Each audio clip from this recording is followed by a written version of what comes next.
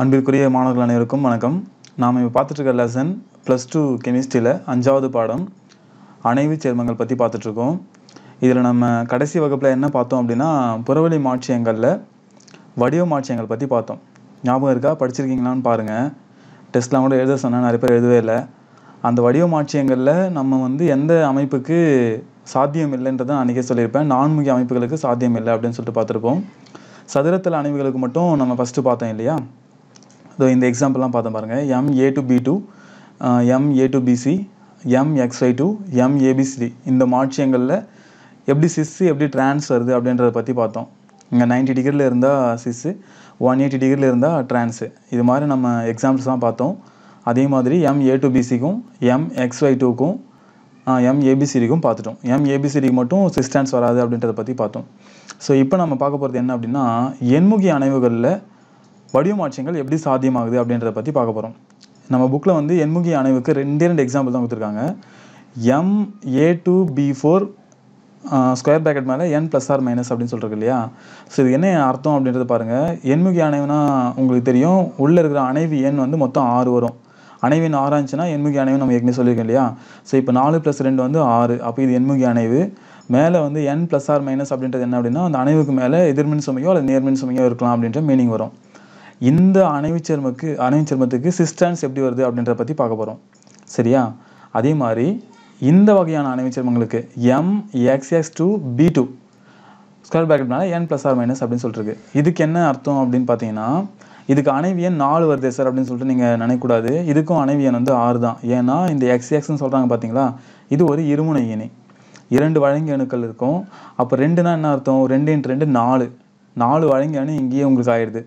Plus beat வந்து ரெண்டு. மொத்தம் சேர்த்திங்கன்னா ஆறு வழங்கியணும். அப்போ மொத்தம் எத்தனை அணைவியன் பார்த்தீங்கன்னா ஆறு. அப்போ இதுவும் எண்முகி சேர்மம் தான். இந்த ரெண்டு காம்ப்ளெக்ஸில் ரெண்டு அணைவி சேர்மத்தில் மட்டும் எப்படி சிஸ்டன்ஸ் மாற்றங்களோ அல்லது வேறு சில வடிவ மாற்றங்களோ இருக்குது அப்படின்றத பற்றி பார்க்க போகிறோம் நம்ம அதுக்கு முன்னாடி எண்முகி அணைவுகளில் ஈனிகளுடைய நிலையை கொஞ்சம் பார்த்துடலாமே. எண்முகினா உங்களுக்கு ஏற்கனவே நான் சொல்லியிருக்கேன் இல்லையா? எண்முகி அப்படின்றது எட்டு முகங்கள் கொண்டது தான் எண்முகி. நான்முகி அப்படின்றது நான்கு முகங்கள் கொண்டது. சந்திரமுகி அப்படின்னா சந்திரனை போன்ற முகமுடையது தான் சந்திரமுகி. சரியா? அதே மாதிரி எண்முகி அப்படின்னா எட்டு முகங்களுடையது.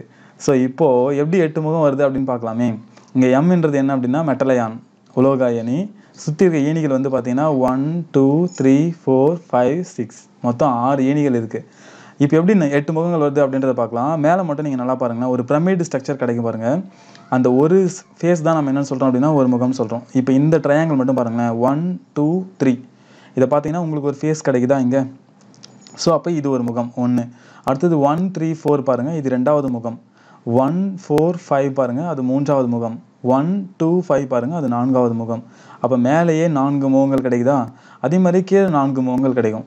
ஸோ இந்த ஸ்ட்ரக்சர் நல்லா மனசில் வச்சிங்கன்னா தான் எப்படி சிஸ் எப்படி ட்ரான்ஸ் அப்படின்றத பற்றி நம்ம வந்து புரிஞ்சிக்க முடியும்.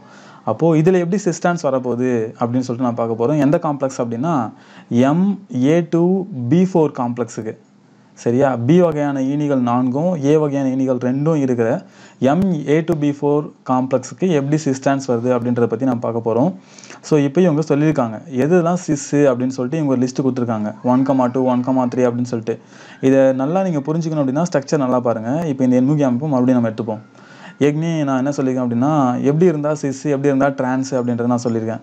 ஒரு ஈனிக்கும் இன்னொரு ஈனிக்கும் நைன்டி டிகிரி இருந்தால் அது சிஸ் அமைப்பு. கரெக்டாக ஒன் எயிட்டி இருந்தால் அது வந்து ட்ரான்ஸ் அமைப்பு. அது நல்லா மைண்டில் வச்சுங்க. இப்போது இந்த எக்ஸாம்பிள் நான் பார்க்க போகிறோம் ஃபஸ்ட் இந்த காம்ப்ளெக்ஸ் பார்க்கலாம். M A two B four பார்க்க போகிறோம் ஏ வகை நேணிகள் ரெண்டு எடுத்துக்கலாம். இப்போது நான் சொல்கிற நல்லா ஞாபகம் வச்சுங்க. ஒனில் வந்து ஏ இருக்குதா எடுத்துப்போம். ஓகே டூலேயும் ஏ இருக்குதா எடுத்துப்போம். மற்ற நாலுமே என்ன அப்படின்னா பி ஓகே அப்போது ஃபைவ்ல த்ரீ ஃபோரில் சிக்ஸில் பி ஈனிகள் இருக்குது ஒன் டூவில் மட்டும் என்ன இருக்குது அப்படின்னா ஏ ஈனிகள் இருக்குது இது சிஸ்ஸா ட்ரான்ஸான்னு இப்போ நம்ம சொல்லணும். எப்படி சார் சொல்கிறது அப்படின்னா இந்த ஏவையும் இந்த ஏவையும் பாருங்களேன். இது ரெண்டுத்துக்குள்ள ஆங்கிள் மட்டும் செக் பண்ணுங்கள் இந்த ஏக்கும் இந்த ஏக்கும் உள்ள ஆங்கிள் மட்டும் பாருங்கள் எவ்வளோ வருது அப்படின்னா நைன்டி டிகிரி வருது. அப்போது ஒன் கமா டூ அப்படின்ற பொசிஷன் வந்து பார்த்தீங்கன்னா சிஸ் பொசிஷன் சரியா? அப்போ இது மாதிரி மற்ற எந்தெந்த பொசிஷன்லாம் சிஸ்ன்றதை நம்ம சொல்லணும். சரி இப்போ நான் சொல்கிறேன் அப்படியே நீங்கள் கற்பனை பண்ணுங்கள் ஒன் த்ரீயில் ஏ இருக்குன்னு வச்சுப்போம். ஒனில் ஏ இருக்குது த்ரீயில் ஏ இருக்குன்னு வச்சுப்போம். அப்போது இங்கேயும் வந்து நைன்டி டிகிரி வரும். அப்போ இதுவும் சிஸ் அமைப்பு. அப்போ ஒன் த்ரீ பொசிஷனும் சிஸ்ஸு ஒன் ஃபோர் செக் பண்ணி சொல்ல முடியுமா? ஒனில் ஏ இருக்குது அப்புறம் ஃபோர்லேயும் ஏ இருக்குது இது ரெண்டுத்துக்குள்ள ஆங்கிள் வந்து பார்த்தீங்கன்னா தொண்ணூறு டிகிரி அப்போ இதுவும் சிஸ்ஸு ஒன்லேயும் ஃபைவ்லேயும் இருக்கிறதும் சிஸ் தான். அப்போது one two one three one four one five cis அமைப்பு. சரி. இப்போ ஒன் சிக்ஸ் பார்க்கலாமா? ஒனில் ஏ இருக்குதா வச்சுப்போம். சிக்ஸில் ஏ இருக்குதா வச்சுப்போம். மற்ற நாலுமே வந்து பார்த்தீங்கன்னா பி ஈனிகள் இருக்குது அப்போ ஏ ஈனிகளை மட்டும் பாருங்கள் ஒனில் ஏ இருக்குது சிக்ஸில் ஏ இருக்குது ரெண்டுத்துக்குள்ளே ஆங்கிள் எவ்வளோ இருக்கும்? ஒன் எயிட்டி அப்போ இது ட்ரான்ஸு அப்போ ஒன் சிக்ஸ் பொசிஷன் மட்டும் trans one two one three one four one five வந்து சிஸ்ஸு சரியா? சரி. வேறு என்னென்ன ட்ரான்ஸ் பொசிஷன் அப்படின்றத பற்றி பார்க்கலாமே. இப்போது டூவில் வந்து ஏ இருக்கிறதா வச்சுப்போம். ஃபோரில் ஏ இருக்கிறதா வச்சுப்போம். இப்போ டூக்கும் ஃபோருக்கும் உள்ள ஆங்கிள் வந்து பார்த்தீங்கன்னா நூற்றி ஐம்பது டிகிரி அப்போ இதுவும் ட்ரான்ஸ் தான். அதே மாதிரி த்ரீல ஏ இருக்கிறதா வச்சுப்போம். ஃபைவ்ல ஏ இருக்கிறதா வச்சுப்போம். இந்த அமைப்பும் ட்ரான்ஸ் அமைப்பு தான். இதை தவிர மற்ற எல்லாமே சிஸ்ஸு நல்லா கவனிச்சிங்க.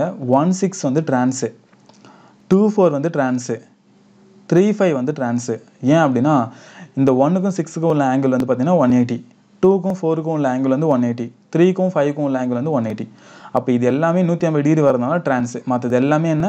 சிக்ஸ் பொசிஷன் அப்போது இதுதான் இவங்க புக்கில் சொல்லியிருக்காங்க. அப்போது மேற்கொண்ட வழி வழிமுறையில் ஒன் டூலேருந்து ஆரம்பித்து ஒன் டூலேருந்து ஆரம்பித்து த்ரீ சிக்ஸ் வரைக்கும் one two one three one four one five இதெல்லாம் நீங்கள் செக் பண்ணி பார்க்கணும். டூவில் ஏ இருக்குது த்ரீயில் ஏ இருக்குன்னா அது சிஸ்ஸா ட்ரான்ஸான்னு செக் பண்ணி பாருங்கள் அதே மாதிரி டூவில் ஏ இருக்குது ஃபைவ்ல ஏ இருக்குது அப்படின்னா சிஸ்ஸா ட்ரான்ஸான்னு செக் பண்ணி பாருங்கள் இது எல்லாமே சிஸ்ஸு அப்போ எது சார் ட்ரான்ஸ் அப்படின்னா இதுவரையிலுமே இதுவரையிலுமே cis four five four six five six இது ட்ரான்ஸு அப்போ எது அப்படின்னா one six two four three five இது மட்டும்தான் என்ன அப்படின்னா டிரான்ஸ்மாட்சியம் ஸோ இதுதான் நீங்கள் எழுத போகிறீங்க இப்போ இது வந்து நாளைக்கு டெஸ்ட்டாக எழுதணும்னு வச்சுங்களேன். நீங்கள் என்ன பண்ணணும் அப்படின்னா எண்முகி அணைவுகளில் எவ்வாறு மாற்றியங்கள் இருக்குது அப்படின்றதுக்கு நீங்கள் டயக்ராமாக போட்டணும் சரியா? டயக்ராம் போட்டுட்டு நீங்களே மனப்பாடம் பண்ணாமல் எது எதுலாம் சிஸ்ன்றதை ஞாபகம் வச்சுங்க. One two one three one four one five அதே மாதிரி டூ சிக்ஸ் அதுக்கப்புறம் டூ த்ரீ அதுக்கப்புறம் டூ ஃபைவ் இது எல்லாமே பார்த்தீங்கன்னா சிஸ்ஸு ஸோ இதே மாதிரி எதெல்லாம் சிஸ் வருதுன்றதை நீங்கள் ஞாபகம் வச்சுட்டு அதை எழுதுங்க. ட்ரான்ஸ் வந்து மூணே மூணு தான். One six two four three five இது மட்டும்தான் ட்ரான்ஸு ஸோ இதுதான் நீங்கள் எழுதணும். எண்முகி அணைவில் M A M A two B four காம்ப்ளெக்ஸில் எதெல்லாம் சிஸ்ஸு எதெல்லாம் ட்ரான்ஸுன்றதை இப்போ நான் சொல்லிட்டேன் இல்லையா? இதை நீங்கள் நல்லா படித்து டெஸ்ட்டாக எழுதிடுங்க. ஓகே ஸோ இதுதான் நாளைக்கு வந்து டெஸ்ட்டு அடுத்தது என்ன அப்படின்னா இப்போ நம்ம அடுத்த காம்ப்ளெக்ஸுக்கு பார்க்க போகிறோம் என்ன காம்ப்ளெக்ஸ் அப்படின்னா M A three B three வகையில் என்ன மாதிரியான வடிவமாற்றங்கள் வருதுன்றதை பற்றி பார்க்க போகிறோம் எம் ஏ த்ரீனா ஏ வகை ஈனிகள் மூன்றும் பி வகை ஈனிகள் மூன்றும் இருக்குது இந்த சமயத்தில் எப்படி மாற்றங்கள் வருது அப்படின்றத பற்றி பார்க்க போகிறோம் ஃபஸ்ட்டு நீங்கள் டயக்ராம் பாருங்களேன். இப்போது ஏ வகையான ஈனிகள் வந்து சிஎன் வச்சுப்போம். இது எல்லாமே சிஎன்ன்றது ஏ பி வகையான ஈனிகள் சிஎல்னு வச்சுப்போம். இதில் சிஸ்டான்னு சொல்ல முடியுமா சார்னா முடியாது. சிஸ்டன்ஸ் வந்து சொல்ல முடியாது. ஏன்னு கேட்டிங்கன்னா ஏ வகையான மூணு இருக்குது அப்போ பி வகை அணிகள் வந்து மூணு இருக்குது நீங்கள் இந்த ஸ்ட்ரக்சரை மாற்றி போட்டிங்க அப்படின்னா ஒரு ஏக்கும் இன்னொரு ஏக்கும் உள்ள டிகிரி வந்து இங்கே 90 வரும். ஆனால் இங்கே வந்து பார்த்தீங்கன்னா இந்த ஏக்கும் இந்த ஏக்கும் ஒன் எயிட்டி டிகிரி வரும். அப்போ எப்படி நம்ம இதை சொல்ல முடியும் அப்படின்னா இதுக்கு சிஸ்டான்ஸ் வராது. அதனால தான் இதுக்கு வேறு ஒரு பேர் சொல்ல போகிறோம் ஒருமுக மாற்றியம் நெடுவரை மாற்றியம் அப்படின்னு சொல்லிட்டு நம்ம பேர் சொல்ல போகிறோம் ஓகே ஒருமுக மாற்றியம் நெடுவரை மாற்றியம் அப்படின்னு சொல்லிட்டு நம்ம பேர் சொல்ல போகிறோம் அப்போ நல்லா கவனிச்சிங்க. இதில் நம்ம எப்படிலாம் வந்து மாற்றியங்கள் பேர் வைக்க போகிறோம் அப்படின்னா ஒருமுக மாற்றியம் அப்புறம் நெடுவரை மாற்றியம் அப்படின்னு நம்ம சொல்ல போகிறோம் ஸோ இது என்ன அப்படின்னா முதல்ல M A three B three காம்ப்ளெக்ஸை நம்ம இந்த டயக்ராமை பார்ப்போம். இந்த டயக்ராமை பார்ப்போம். இதுதான் வந்து M A three B three வகையான காம்ப்ளெக்ஸுக்கு ஒரு எடுத்துக்காட்டு. சிஎன் இனிகள் வந்து ஏன்னு வச்சுங்க. சிஎல் இனிகள் வந்து பின்னு வச்சுங்க. ஸோ இதில் எப்படி மாற்றியங்கள் வருது அப்படின்றத நம்ம பார்க்கலாம். இப்போது இது மாதிரி ஒரு ஸ்ட்ரக்சர் இருக்குது ஏ வகையான இனிகள் மூணு சிஎல் வந்து பார்த்திங்கன்னா ஒரு முக்கோணத்தை ஃபார்ம் பண்ணுது. ஓகேவா அதே மாதிரி இந்த சிஎன் இனிகள் வந்து பார்த்திங்கன்னா இங்கே ஒரு முக்கோணத்தை ஃபார்ம் பண்ணுது.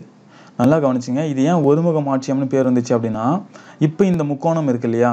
இந்த மூன்று குளோரி குளோரிடோ ஈனிகளும் இந்த மூன்று சைனடோ ஈனிகளும் உருவாக்குகின்ற முக்கோணங்கள் ஒன்றை ஒன்று பார்த்து கொண்டிருக்கிற போல் அந்த ஒரு முகத்தை இன்னொரு முகம் பார்த்து கொண்டிருக்கிற போல இருக்கான்னு பாருங்களேன். இந்த ட்ரையாங்கிளும் இந்த ட்ரையாங்கிளும் அப்படியே ஒன் பை ஒன்னோட வந்து ஃபேஸ் பண்ணுற மாதிரி இருக்கும். அதனால தான் அதை ஒருமுக மாற்றியம்னு சொல்கிறோம் சரியா? ஒருமுக மாற்றியம் அந்த முகங்கள் ஒன்றோடொன்று இருக்கும். சரி இதை விட இன்னொரு ஸ்ட்ரக்சர் இருக்குது அதுதான் இது. இங்கே பாருங்கள் இப்போ என்னாச்சு அப்படின்னா மேலேயே வந்து ட்ரையாங்கிள் இருந்துச்சு. அதாவது இந்த குளோரிட ஈனிகள் வந்து மேலேயே ஒரு ட்ரையாங்கிள் ஃபார்ம் பண்ணிச்சு. அதே மாதிரி கீழே சி சைனடோ ஈனிகள் வந்து கீழே ஒரு ட்ரையாங்கிள் ஃபார்ம் பண்ணிச்சு. ரெண்டு ட்ரையாங்கிளும் ஒரு ஃபேஸ் இன்னொரு ஃபேஸ் வந்து பார்க்குற மாதிரி இருந்துச்சு. அதனால் ஒருமுக ஆட்சியம்னு சொல்லிட்டோம்.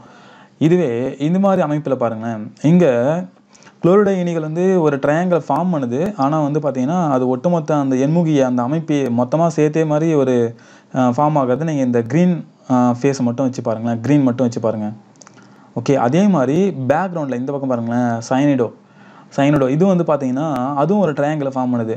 இப்போ இந்த ட்ரையாங்கிளும் இந்த ட்ரையாங்கிளும் ஒன்றோட ஒன்று வெட்டிக்கிற மாதிரி இருக்குது பாருங்கள் அதாவது இப்படி இப்படி வரும் பாருங்கள் இப்படி வெட்டிக்கிற மாதிரி வரும். சரியா? இப்போ ஒரு கையை இப்படி வச்சுக்கிறோம் இன்னொரு கையை வந்து பர்பண்டிகுலராக வச்சுக்கிறோம். ஒரு கையை வந்து அரிசாண்டலாகவும் இன்னொரு கையை வந்து பர்பண்டிகுலராகவும் வச்சுக்கிறோம்னு வச்சுங்க ஸோ அப்போது இப்படி வரா மாதிரி வரும்.